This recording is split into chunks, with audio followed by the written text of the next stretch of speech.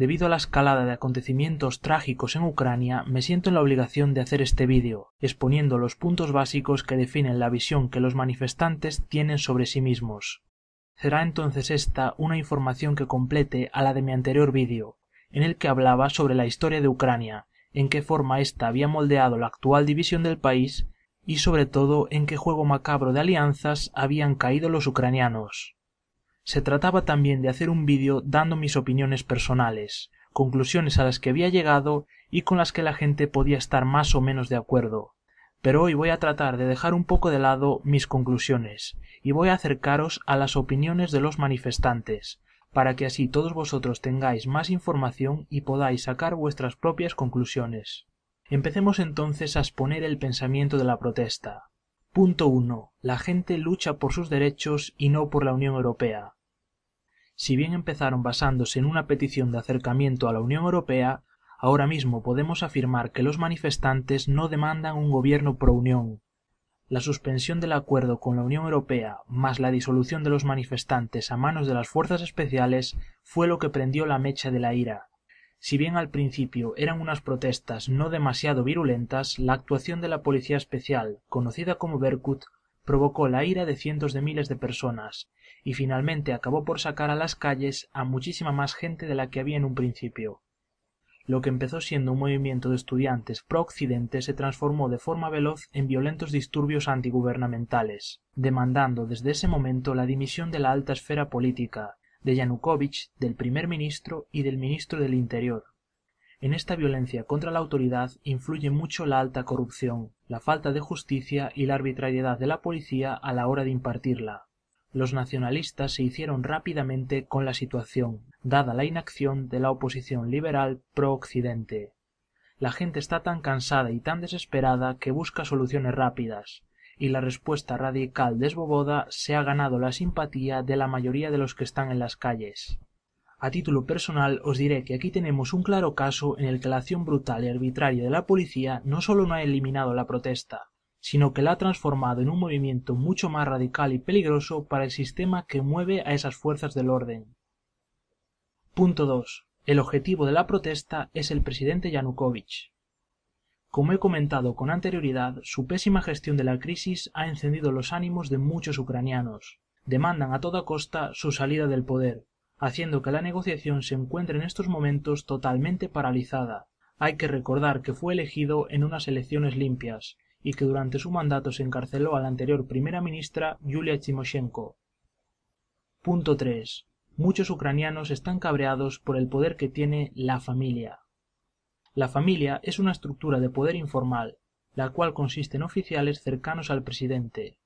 Tienen una gran responsabilidad en el rumbo económico de Ucrania y controlan directamente algunos de los sectores más rentables de la economía.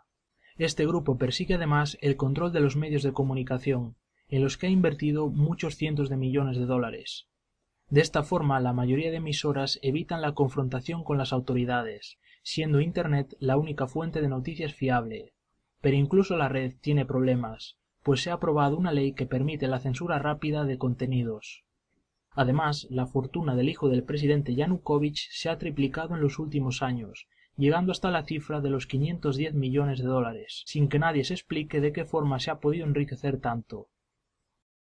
Punto 4. Ucrania tiene un fuerte poder vertical. En la era Yanukovych el país ha pasado de ser una república parlamentaria a ser un sistema presidencialista. Ha construido una gran cadena de mando, donde todas las estructuras de poder, agencias recaudadoras y tribunales están subordinados a su voluntad. Usa esto no solo para socavar a sus rivales, sino también para beneficiar a sus propios negocios. Punto 5.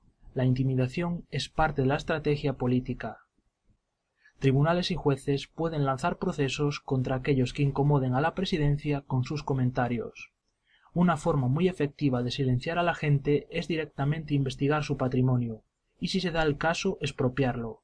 La gente, obviamente, y como sucede en el resto de países, tiene miedo a perder sus propiedades. Se dice también que sectores afines al poder contratan a matones para intimidar a personalidades opositoras, tanto de la política como de la prensa.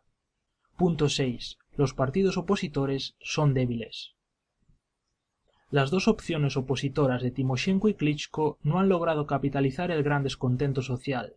Si bien han ganado muchos apoyos, los más beneficiados son los nacionalistas, que han conquistado a muchos ciudadanos del pueblo llano con sus eslóganes radicales.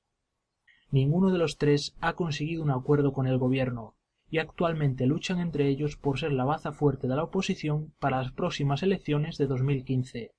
Tampoco parece que tengan control alguno sobre los disturbios, tal vez por falta de una estrategia de gran alcance. Punto 7. Las unidades Berkut, Policía Especial o Problema Especial. Se tratan de unas tropas al servicio del Ministerio del Interior, aunque no están reguladas de forma oficial. Las integran agentes de policía con gran formación en la supresión de levantamientos.